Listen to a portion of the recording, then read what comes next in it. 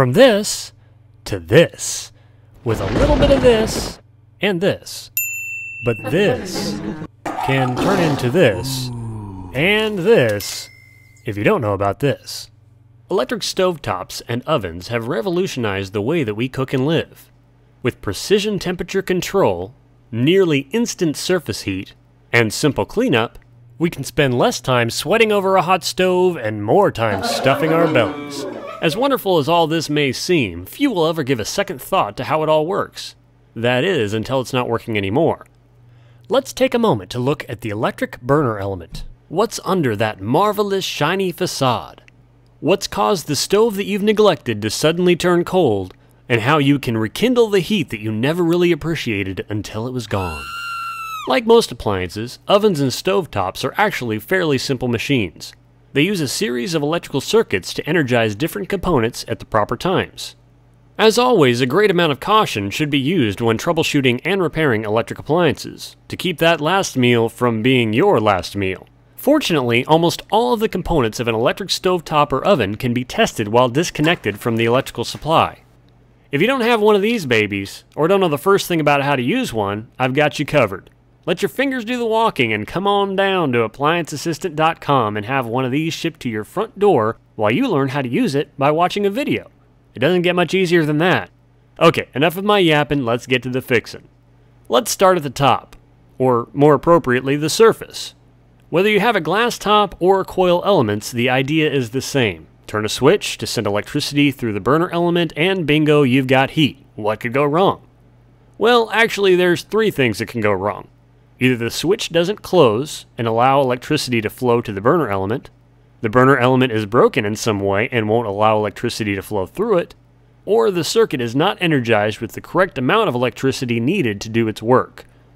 Heating elements used in an electric range need 240 volts to operate.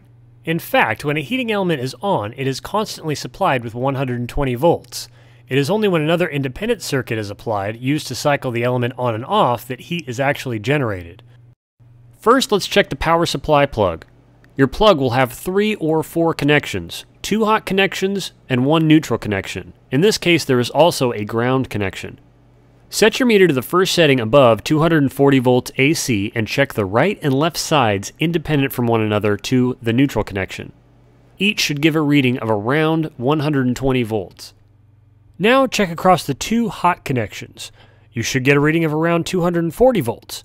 If you don't, reset the breakers that monitor the range circuit and try it again. If that worked, congratulations. If not, let's keep digging. Each one of the three components used in an electric burner circuit can be tested for continuity. Now, if you just thought to yourself, what the heck does that mean? Watch the How to Use a Voltmeter video, and then you'll be up to speed. Remember that when checking for continuity or resistance, the component being tested needs to be disconnected from the rest of the circuit to prevent false readings through some parallel circuit. Because the heating element generates heat through electrical resistance, it should show some resistance when tested for continuity. It should not show as being open or having infinite resistance. The switch that routes electricity to the burner element can be checked in the same way. It should be closed, allowing electricity to flow through to the element whenever the switch is turned on. It should also be open, not allowing electricity to flow whenever the switch is turned off. Remember that with a 240 volt electric range, It takes two to make a thing go right. two 120 volt circuit connections, that is. So follow the wires back from the element and check each connection independent from the other. L1 input to output, L2 input to output. Most switches are labeled L1 and L2, as well as H1 and H2. You may also see a P terminal. L stands for line or input, and H stands for heater or output. The P terminal generally is the same connection as H1 and is usually used for an indicator light.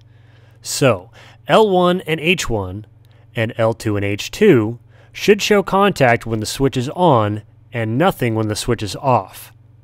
It's always wise to snap a quick picture for reference before you start pulling off wires for your test. An electric range burner switch is a very interesting device. It's often assumed that this style of switch, which is also called an infinite switch, fluctuates the amount of current being supplied to the burner and so controls the amount of heat that is generated by the heating element. In most cases, this is not true, except for some very high end stoves that use a device called a potentiometer. The more commonly used infinite switch has an adjustable temperature sensitive bimetal contact that will open and close one of the two 120 volt circuits, cycling the burner on and off automatically to maintain the desired temperature. As current flows through the closed switch, a small amount of heat is generated, causing this thin strip of metal to flex out and break contact. By setting the burner switch to high, the maximum amount of physical pressure is placed on this flexible contact, making it more difficult to flex out and open the circuit, while a lower setting reduces the amount of physical pressure, making it easy to flex and open. Because infinite switches use the flow of current to generate the heat required for opening and closing the switch, it is important to note the wattage or amperage ratings of the switch. The switch used to control a large burner element with a 10 amp draw will not correctly cycle a small burner that uses less amperage, and vice versa. So, what if the burner sticks on? Well, the most common cause would be that the contacts within the switch are sticking closed, or that carbon has built up and is bridging the gap that would normally exist in a new switch. The most common electrical supply problem is a bad contact or connection especially when you're dealing with a range that has coil elements that plug into a receptacle, which is also called a block. These contacts can become corroded over time and may need to be cleaned with sandpaper or replaced in extreme cases. I know that was kind of a lot of information to pack into 7 minutes, but I hope that you found it helpful. Please remember to like, share, and subscribe, and that there's a lot more appliance troubleshooting, repair help, and parts available at applianceassistant.com. Thank you for watching.